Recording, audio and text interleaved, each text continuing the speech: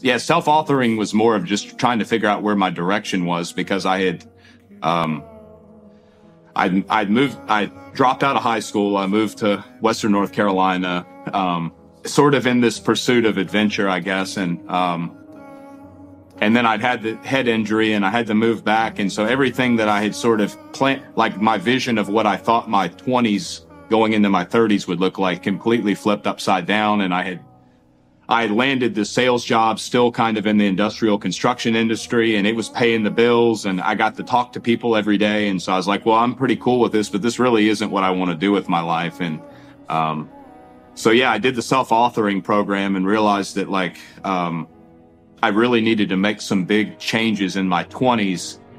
And part of that was selling our house. We bought some acreage and, uh, you know, moved into a, my, and this was, this really almost cost me my marriage.